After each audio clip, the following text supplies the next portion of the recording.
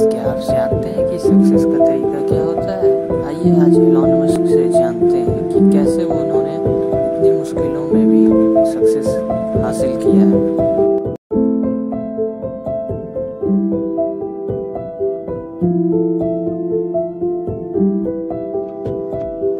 Thank you.